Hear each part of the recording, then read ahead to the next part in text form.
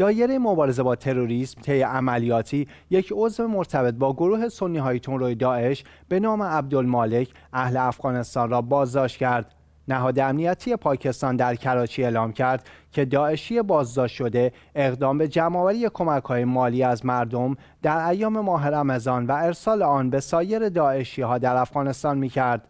همزمان طی درگیری میان عناصر تروریستی و نیروهای امنیتی در شهر خانیوال واقع در ایالت پنجاب پاکستان یک تروریست تحت تعقیب که در یک فقر انفجار تروریستی در شهر راولپندی دست داشت کشته شد ارتش پاکستان اعلام کرد که طی عملیاتی ضد تروریستی در شهر لاکیمارود واقع در استان خیبر پختونخوا دوازده عضو طالبان پاکستان کشته شدند.